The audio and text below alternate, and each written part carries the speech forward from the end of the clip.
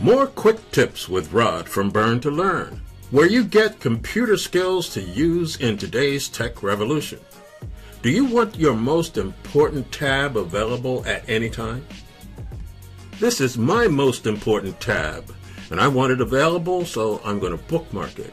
To do that, I simply scroll up to the right and click on this star. Now I have to decide what folder to use, so I click this down arrow, and as you can see, there are several options.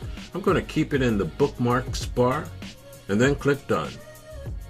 Also, there's a shortcut for the bookmarking process. All you do is press Control plus the letter D, and there you have it.